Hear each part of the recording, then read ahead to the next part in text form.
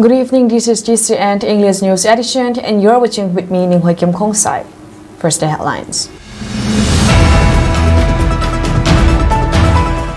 Kuki MLAs are governor to intervene and reject unconstitutional HAC recommendation.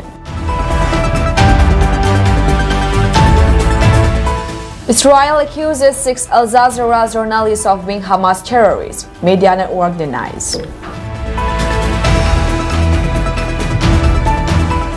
News in detail.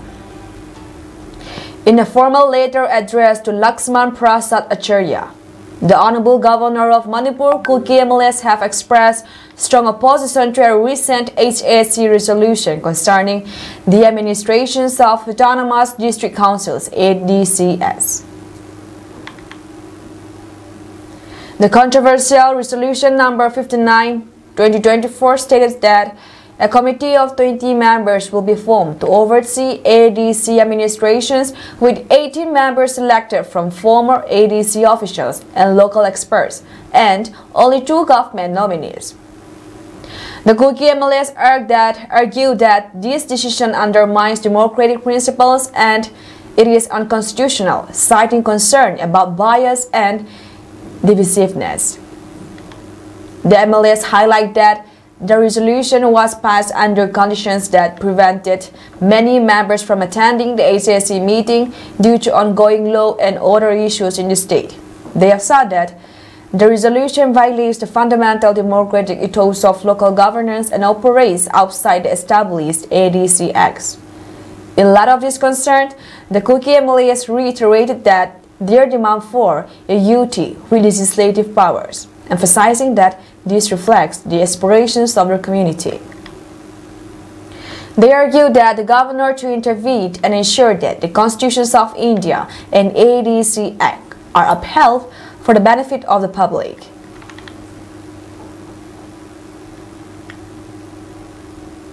A 42-year-old man was found dead under mysterious circumstances in Churachandpur, Manipur on Wednesday night. Police say that the man was found with injury marks on his head and chest. The deceased was identified as Henry Guite. He was a resident of Ngatal village in Churachandpur. His body was found near a drain at the Kazang village on Wednesday. A team of Churachandpur district police picked up the dead body of Guite and sent it for postmortem. The motive behind the alleged murder is yet to be established, police said. No outfit no so far has claimed responsibility for the murder. Police added that they are investigating the circumstances surrounding the death and attempts to arrest the killer.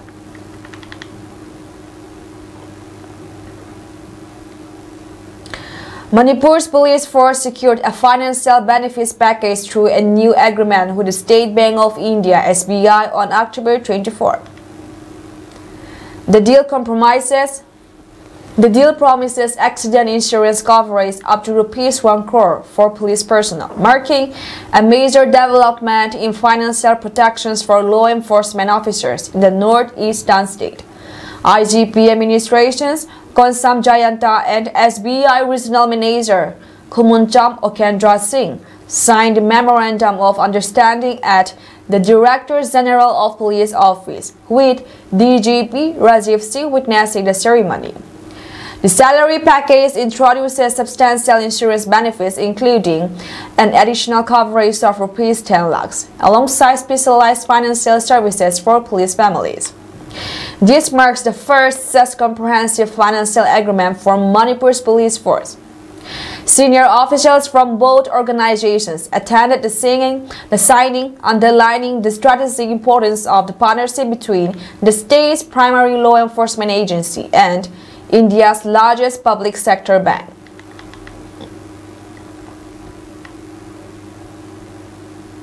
Security forces seized huge stacks of arms and ammunition during search operations in Manipur's Imphal East, Thoubal and Chandel districts, a police statement said on Friday.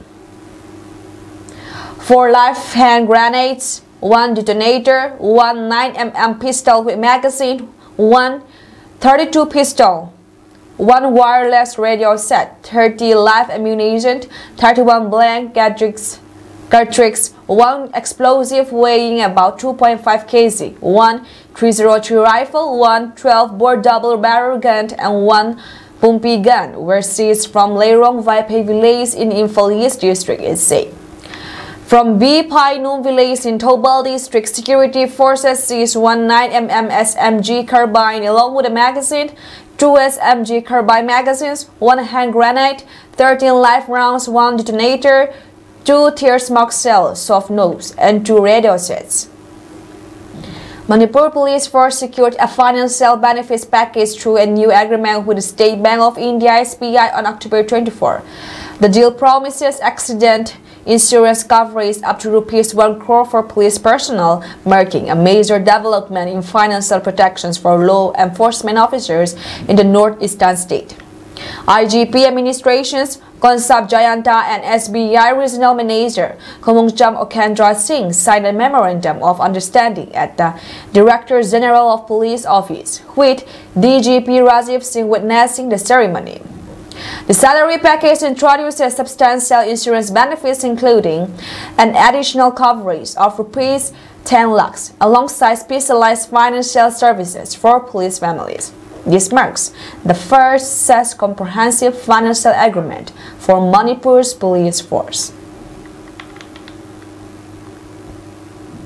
In a significant milestone for the Gangte community, Go Gangte has successfully passed the prestigious National Defense Academy NDA examinations for 2024 conducted by the UPSC, becoming the first from the Gangte community to achieve this feat.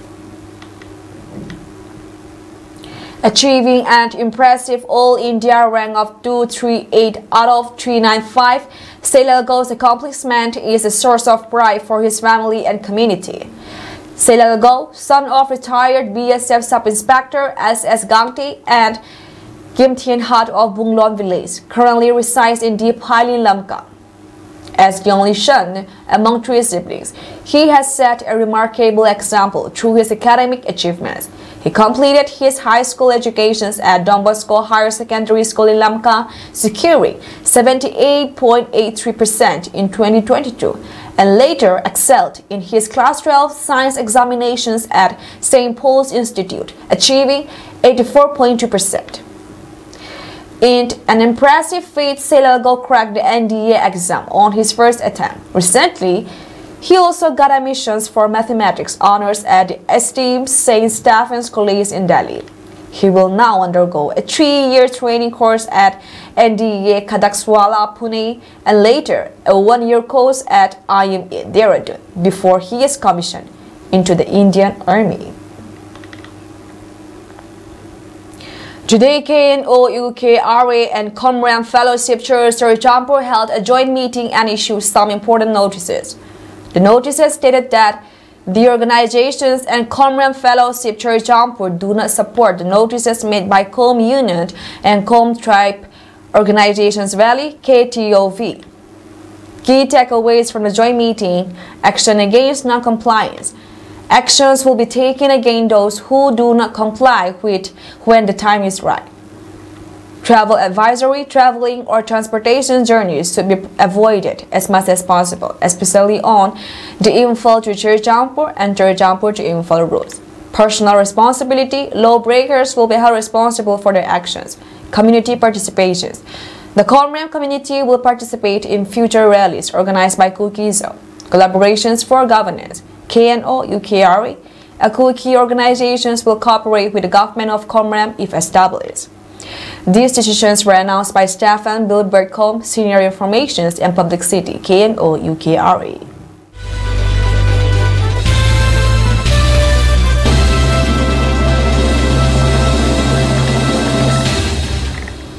Two soldiers were killed in actions in a terror attack in Jammu and Kashmir's Baramulla today, sources said. Two porters were also killed in the attack, while three others were injured, sources said. The Indian Army's Chinar Corps in a post on as confirmed an exchange of fire happened between soldiers and terrorists in the general area of Baramulla's Butapatri.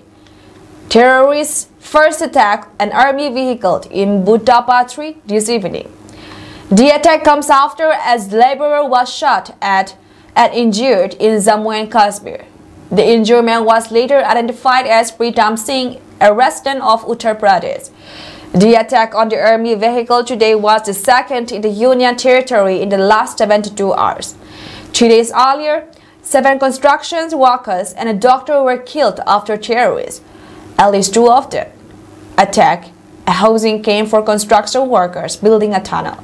Those killed were identified as Dr. Shahnawaz from Naingam, Kashmir's Budgam, and Gurmeet Singh from Punjab's Gurdaspur, while Mohammed Hanif Fahim Nasir, and Kalim were from Bihar.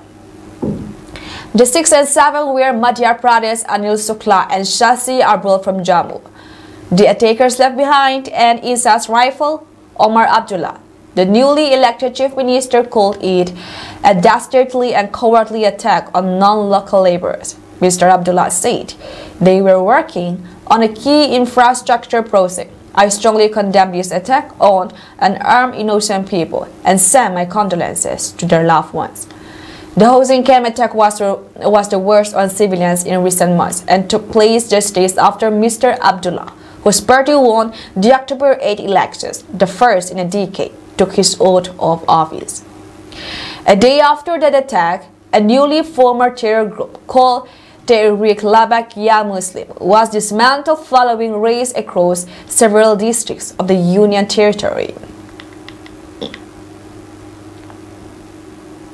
The Supreme Court on Thursday set aside an order of the Punjab and Haryana High Court which had accepted an Aadhaar card for determining the age of a road accident victim to grant compensation. Bench comprising Justices Sanjay Karol and Ujjal Bhuyan therefore said the age of the deceased has to be, has to be determined from the date of birth mentioned in the school leaving certificate under Section 94 of the Juvenile Justice Care and Protection of Children Act 2015.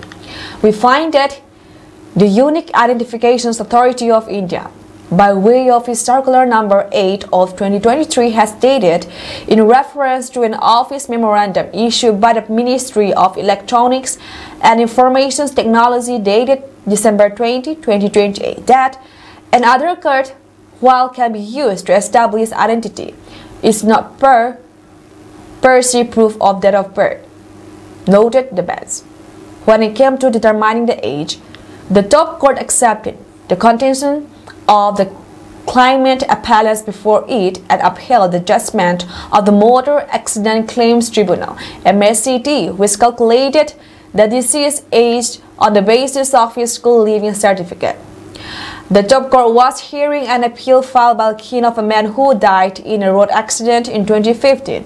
MACT, Rohtak awarded a compensation of rupees 19.35 lakh, which was reduced to 9.22 lakh by the High Court after noting that MACT has strongly applied the age multiplier while determining the compensation. The, age, the High Court had relied on the deceased card to calculate his age as 47 years.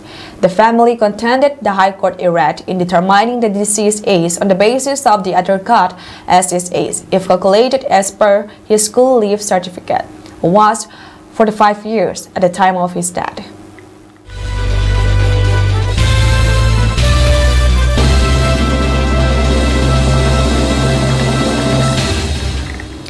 At the BRICS summit in Kazan, Russia, a symbolic BRICS banknote was unveiled, igniting discussions on reshaping global finance. The banknote, which features the flags of Brazil, Russia, India, China, and South Africa, symbolizes the collective ambitions of these nations to explore alternatives to the US dollar in cross-border transactions. This development highlights the growing effort within BRICS to establish a more independent economic system, while less reliant on Western financial structures. Russian President Vladimir Putin made it clear at the summit that the BRICS nations are not outright rejecting the US dollar but are preparing alternatives if access to it continues to be restricted. The dollar remains the most important tool in global finance, but using it as a political weapon undermines trust in the currency, Putin remarked. He stated that the BRICS will not fight against the dollar, but will seek alternative methods if the situation necessitates it. If they block us, we'll find alternatives, he added, underscoring the pragmatic approach BRICS is adopting. Putin's remarks echo within the larger context of sanctions imposed on Russia which have significantly limited its access to global financial system dominated by the dollar. By exploring alternative currencies for trade, BRICS seeks to mitigate the risk posed by such political measures. According to Putin, using the dollar as a weapon will accelerate the transition to new financial structures, hinting that the BRICS bloc is moving toward a fair economic system. On Wednesday, October 23, 2024, the BRICS nations formally endorsed the settlement of cross-border payments in local currencies, marking a significant step toward reducing dependency on the US dollar. The Kazan declarations issued at the summit's conclusion stated, we welcome the use of local currencies in financial transactions between BRICS countries and their trading partners.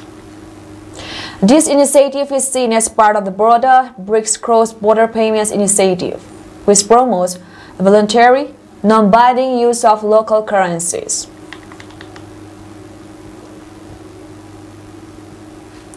The Israeli military has accused six Al Jazeera journalists of being Palestinian militants in Gaza and said they were affiliated with the Hamas and Islamic Jihad militant groups. The Doha-based media network, however, dismissed the unfounded allegations. The Israel Defense Forces IDF said that it disclosed intelligence information and numerous documents found in Gaza confirming military affiliations of six Al Jazeera journalists in Gaza with Hamas and the Islamic Jihad terrorist organizations, including personal tables, lists of terrorist training courses, fund director, phone directories, and salary documents for terrorists. These documents serve as proof of the integrations of Hamas terrorists within the Qatari Al Jazeera media network, it said in a tweet on Wednesday. The military added that most of the journalists that it had exposed as operatives spearhead the propaganda for Hamas at Al Jazeera. According to IDF, Al Jazeera journalist Anas Al-Sharif, Hossam Shabat, Ismail Abu Omar, and Talal Aruki have ties to Hamas, while Asraf Sharas and Alaa Salama were affiliated with the Islamic Jihad. In a statement condemning the allegations, Al Jazeera said it categorically rejects the Israeli occupation forces' portrayal of our journalists as terrorists and denounces their use of fabricated evidence. The network views this fabricated accusation as a blatant attempt to silence the few remaining journalists in the region, thereby obscuring the harsh realities of the war from audience worldwide. The Doha-based network said the baseless claims came after its recent expose of potential war crimes committed by Israeli forces in Gaza during the ongoing war with Hamas. Al Jazeera further claimed that it is the only international media network which is documenting the unfolding humanitarian crisis resulting from Israel's siege and bombardment of civilian populations. New York-based non-profit committee to protect journalists also slammed Israel's accusations and said the Jewish nation has repeatedly made similar unproven claims without producing credible evidence. After killing Al Jazeera correspondent Ismail Al-Ghul in July, the IDF previously produced a similar document which contained contradictory information showing that Al-Ghul, born in 1997, received a Hamas military ranking in, in 2005 when he would have been 10 years old, it tweeted.